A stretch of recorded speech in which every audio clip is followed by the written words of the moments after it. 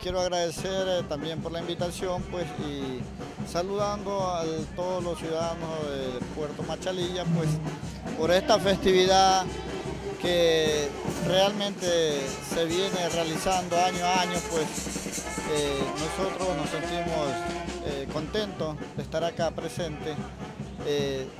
una vez más, felicitando a cada uno de los ciudadanos que viven acá en Machalilla, eh, también por esta festividad que se la viene realizando como los apóstoles Pedro y Pablo.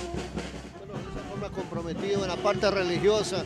Usted es identificado como sector pesquero, ¿se identifica también los santos patrones? Desde luego que sí, pues nosotros los identificamos con los apóstolos San Pedro y San Pablo, son los que de una u otra manera pues el sector pesquero tiene su fe puesta en los santos apóstoles.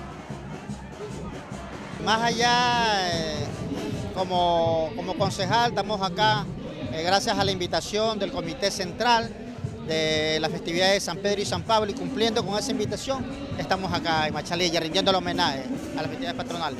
La, la, particularidad de estas festividades tan tradicionales declarado Patrimonio Inmaterial del Estado ecuatoriano, eso fortalece lo que tenemos acá en nuestra zona, principalmente en el cantón Puerto Claro que sí, y esa declaratoria justamente fortalece ¿sí?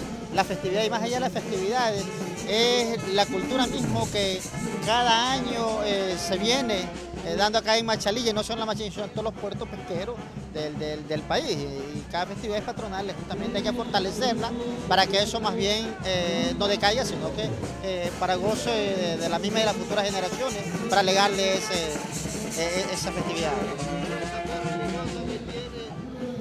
los santos patrones que ayudan también al pescador, a la gente de Claro que sí, sin duda. El, pescador lo lleva adentro, lo lleva en la sangre incluso, eh, de venerar a sus santos patronos que son, que prácticamente les ayudan en la pesca, en la producción y todo lo demás. Y, nada más que rendir los homenaje a los santos patronos, justamente. En estos tres días, cuatro días van a visitar a los palacios a, saborear el tradicional llamado.